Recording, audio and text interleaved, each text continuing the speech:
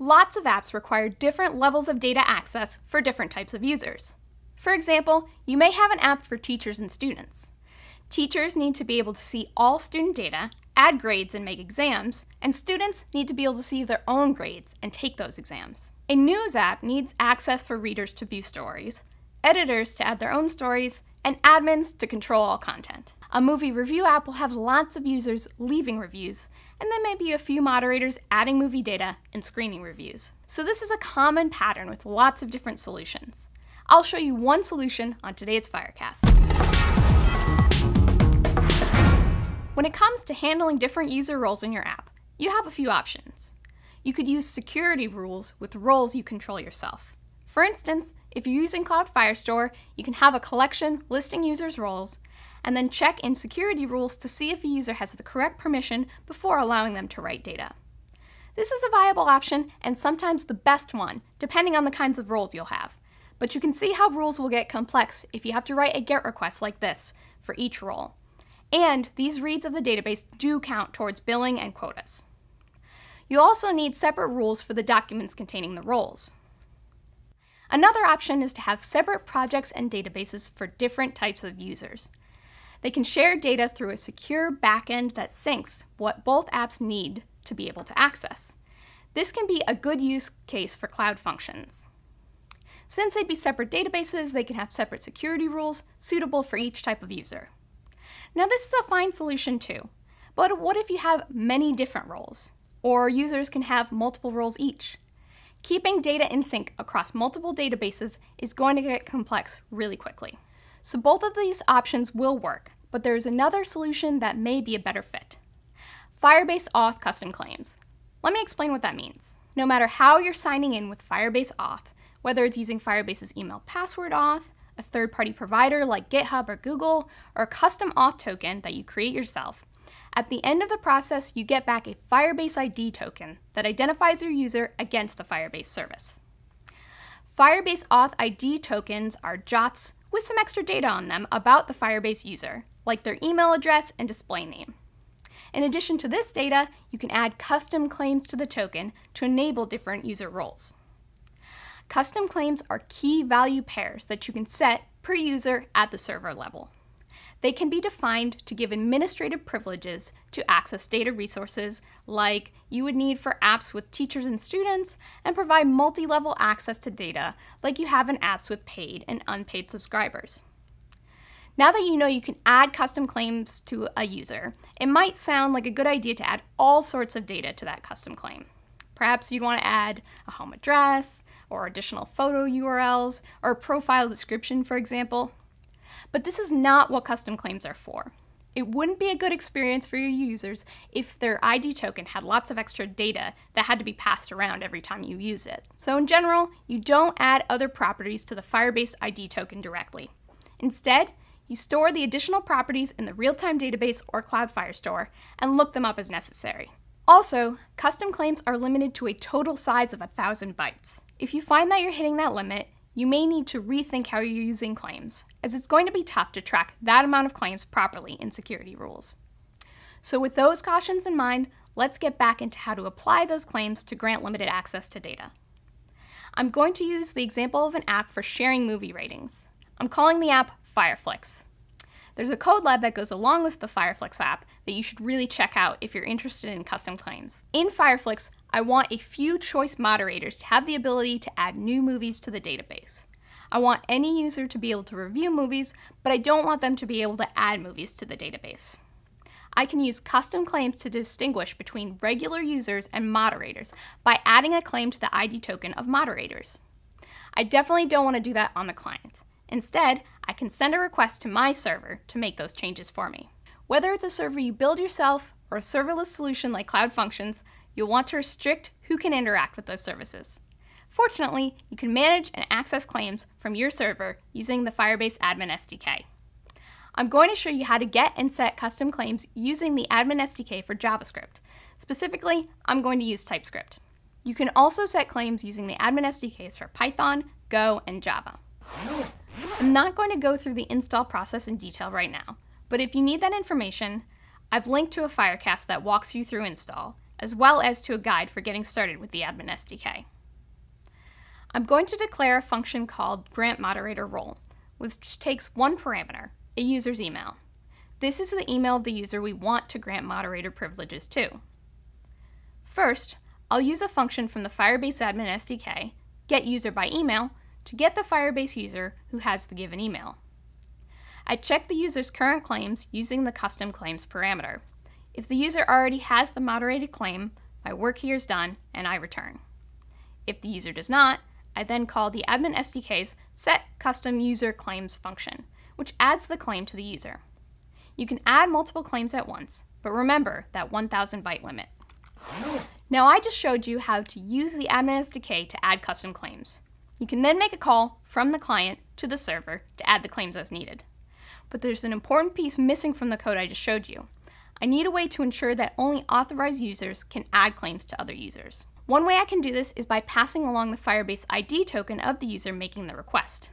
Then, server side, be it on a cloud function or whatever protected environment I'm using, I can check to see if the user is authorized to promote other users. Let's add that check to our server code. In order to check if the user making the request has permission, I'll need to be able to check for claims on their Firebase ID token. One option is to send this along as a header in the request. If you'd like to see what that looks like, check out the code lab that I've linked below. Today, I'm going to show you how to do this using a callable function. The reason for this is because when a request is made to a callable function, information about the user who made the request can be found in the context passed to the function, which enables me to do something like this. I can check for the moderator claim using context.auth.token.moderator. If the moderator claim isn't set to true for that user, I return an error. This error will get passed back to the client. Then, if the user does have the moderator claim, I pass the email from the request to the grant moderator role function I showed you earlier. So far, we've seen how to set a custom claim on a user and how to check for the presence of that custom claim in your own managed environment using the Admin SDK. But perhaps the most powerful use of a custom claim is with Firebase security rules. Since a user's claims are accessible from security rules, you can restrict data access for Cloud Firestore, the real-time database, and cloud storage based on the presence of those claims. Let's look at an example. Rules in Cloud Firestore and Cloud Storage share the same format. I'm going to assume you're familiar with security rules already. If you'd like to find out more about them, check out the guides I've linked below. There's a lot to security rules, and I'm not going to cover all of it here. I want to focus on securing a path using custom claims. Claims in Cloud Firestore and Cloud Storage are accessed using request.auth.token. Any claims present can be accessed using the key of the claim. So, for Firestore and Storage, I can access a claim called moderator using request.auth.token.moderator. In Fireflix, Movie documents are stored in a collection called Movies. I want to ensure that authenticated users can read movies, but only moderators can write to them. Those rules look like this. By the way, if you're using the real-time database, the rules are slightly different. They look like this. Custom claims provide a great way to implement role-based access to Firebase data. But wait, there's more. Custom claims are accessible client-side too. This allows you to customize what users see based on their role. Here are some brief examples of what that looks like on iOS, Android, and web. Each of the client auth SDKs has a function for getting the claims from the Firebase ID token. In Swift, it's get ID token result. Don't confuse this with the get ID token function, which works similar but passes along an encoded token. If the moderator claim is found, I show the UI with moderator privileges. If it's not, I show the regular UI. On Android, I use get ID token to get the ID token. I call getClaims to get all of the claims, and get to read the claim I'm looking for. In this case, moderator. Just like on iOS, I can then update the UI based on whether or not the user is a moderator. For web, I call get ID token result. This function returns a promise which, when fulfilled, is an ID token result object. This object contains the ID token JWT string, other helper properties for getting different data associated with the token, and all of the decoded payload claims. I check for the moderator claim and display a different UI depending on the result. There's a good chance that simply hiding or showing content based on the presence of claims will lead to a suitable experience for most of your users. But as a developer, you know this isn't a method of securing data. For a web app, for example, anyone can just open up the browser's developer tools and inspect the code to find out what's going on under the hood. Using custom claims client side should only be used to create a better user experience. It's not secure. In order to make sure that even a clever developer like you can't access that moderator data, you need to add security on the back end as well through Firebase security rules, as I showed earlier. Think of using custom claims on the client as a means of guiding users in your app, not as a means of security. It's so important that I'll say it again. Relying solely on client side use of custom claims is not secure. It is the security rules that actually protect data. When your rules are properly implemented, even if someone is able to take apart the app and find the moderator functionality, they still won't be able to write to collections reserved for moderators because their user's Firebase ID token will not have a moderator claim. So by now, I bet you're an expert of Firebase auth custom claims. But before you go build a great custom user experience with claims, here are a few things to keep in mind. Remember that custom claims need to be applied in a secure backend environment, or users could add their own, which would defeat the purpose. You could use whatever server or serverless solution you prefer. You'll probably want to use some combination of claims on the front end and back end to create the best user experience and ensure data security. If a user has logged in and then you add a custom claim, they won't have it on their token until the next time the token is issued. The reverse is also true. If you take away access by removing a custom claim, access will not be immediately revoked on existing tokens. Each client SDK has a method to refresh the Firebase token, so you can use this where appropriate. Cloud Firestore, the real-time database, and Cloud Storage all update permissions based on changes to the user's UID, not the refresh token. This means that even if you refresh the token, security rules will not reflect changes in access. Signing out changes the UID to null, so when the client signs back in, Firebase products will be looking at the permissions of the latest token. Finally, setting a custom claim with the same key as an existing one will always cause an overwrite operation.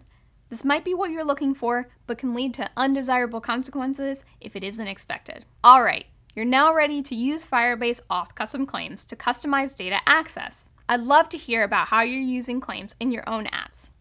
Let me know in the comments below or on Twitter at thatjenperson. And if you found this video helpful, be sure to subscribe to the Firebase channel for more great content. Thanks so much for watching. I'll see you on a future episode of Firecast.